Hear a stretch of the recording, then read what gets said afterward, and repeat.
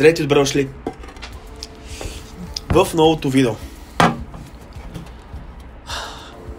Видеото, в което ще си поговорим малко защо се преместих в София. Но преди да го започнем, същинската част да започнем от самото видео, ако сте нови в канала, не забравяйте да се абонирате отдолу, subscribe бутона, цъкнете към банката и ви очаквам в коментарите. Харесате ли мястото, в което живеете? Дали сте от Хасково, дали от Благоевград, дали от Варна? Напишете в коментарите какви са плюсове да живеете във вашия роден град. А, да, и това е. Нека съберем 2000 харесвания. Време е да започваме. А, не чак толкова дългото видео, ще надявам да го направя 10 минути, но а, е много важно да си поговорим малко или много за това защо се преместих аз от Монтана в София. Това беше голямата причина. Малко ми е мръсен свичер, не съм сигурен дали е мръсен, но не е, но тук имам някакво петно на Анцука. Ядох дюнер преди малко. А, защо се преместих от Монтана в София? Една от причините а, беше, разбира се, моята приятелка, която, между другото, е последен курс в а, а, в университета и евентуално като завърши ще работи нещо в София. А, другата голяма, другия голям фактор, който повлия върху това да се премества от Монтана в София, беше, може би до голяма степен това, че в Монтана нямаше какво да се прави. А, от гледна точка на това, ако работиш на нормална работа от 8 до 5, отиваш на работа и си прибираш, каквото правиш тук. Но, но, има едно голямо но. Работата, която аз върша, всъщност, а, видеята, които аз снимам, всъщност са а, малко така по авторски, малко така по-артистични, може да се каже. Пишете в коментар дали ви харесват, разбира се. А, и до голяма степен малкият град ме спъваше от това да снимам с мои приятели от София.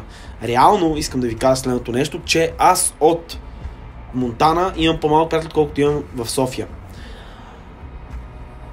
Тук имам много приятели супер много познати. Покрай събития сме се запознавали, покрай видеа сме се запознавали, правили сме колаборации. И тук имам възможност, в крайна сметка, да правя по-различни, по-интересни видеа.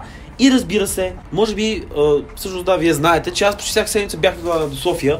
Uh, бях в София за някакви определени неща, дали за някакво събитие, дали да снимаме нещо с някой, дали да се видя с някакъв приятел, примерно. И, и то повечето, то така, е, по едно време почват да смачкват нещата и а, в крайна сметка ти се, запит, а, ти се питаш защо живеят там. При положение, че всичко, което харесваш, правиш и обичаш, е тук. Това е. Причината е много проста, хора. М- а, също така, сега се занимавам с а, ревюта, доста по-така дейно. А, имам повече, така, както казах, а, познати приятели. Виждаме с Зинга се виждахме ден, но а, така позитивна енергия ми вдъхна. А, и, и, и това е, все едно, какво да ви кажа. Знам, че а, преди съм казал, че малки град е по-хубав за живеене и е така, между другото. По-спокоен е, а, по а, малък е и по, по може да си мобилен в него, да обикаляш целия град. Макар, че реално в един квартал, в който ние живеем тук, има абсолютно всичко. То цяло всеки един квартал в София има абсолютно всичко. Магазини ли ще бъдат, молове ли ще бъдат, така нататък, няма никакво значение.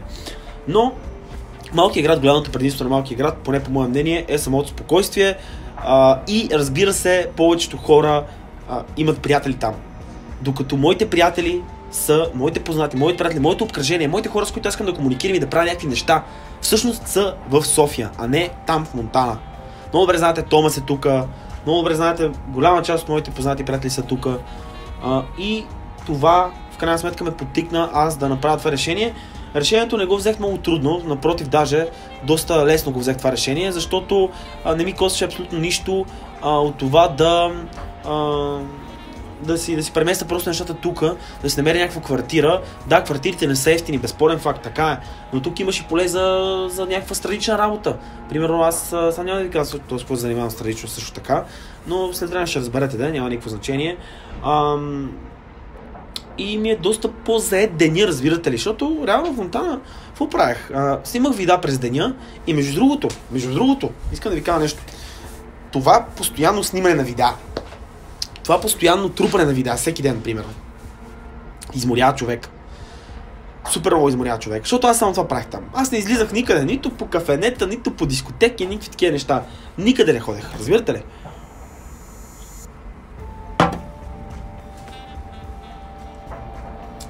Моето време минаваше пред компютъра в нас, стримчета, видеа и това е. Тук обаче има много повече неща, които мога да върша. Виждам се доста повече приятели. Снимам, сега наистина се опитвам да стабилизирам, за да снимам. Може би се чуете защо през последните...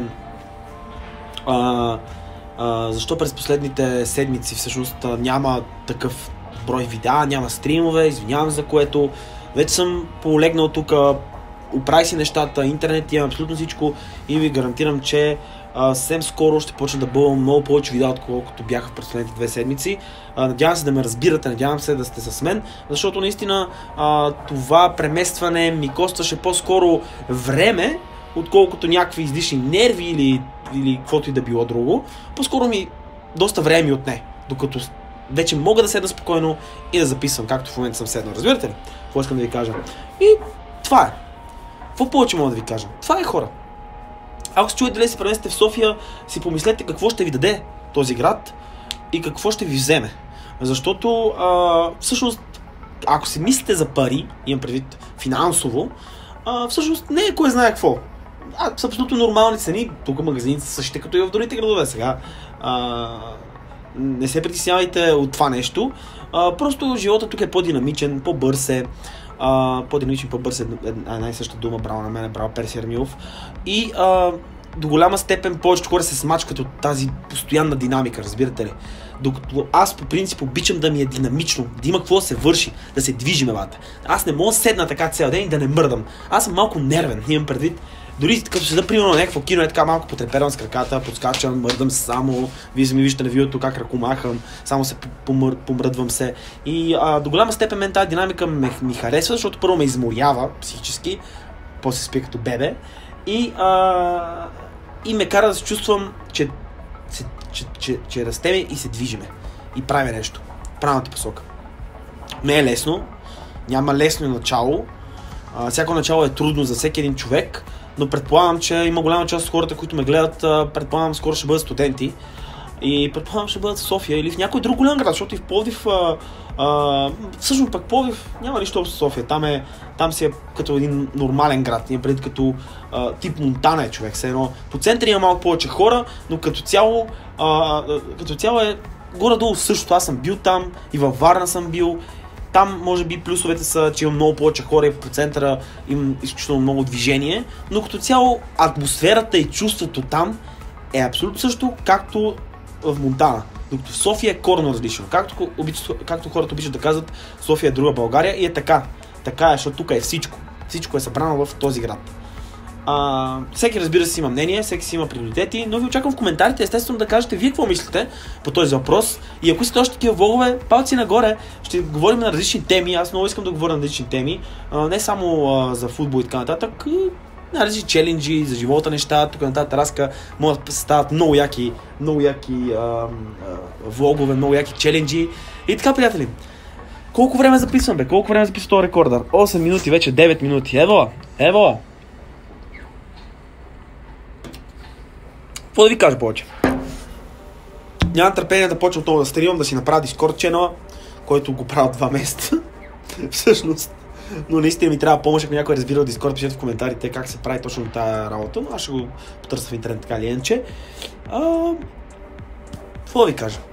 Много се радвам, че успях толкова бързо, между другото, успях си намеря квартира, да си намеря не квартира. Доста бързо си намерихме квартира. За... Нямаме. Също за един ден я намерихме реално. Дори не сме търсили, все едно в интернет гледахме преди 2-3 дена, но за един ден на огледи я намерихме тази квартира. Или за два. За един или за два. Да, но в крайна сметка доста бързо. Има хора, които търсят месеци квартири. Uh, смятате си, намерихме доста окей okay място. Скоро чакате футболни видеа, с Томас ще записваме доста неща uh, и с други ютубери, естествено. Ако гледате, пишете някакви интересни неща, правиме позитивни готини. И това е.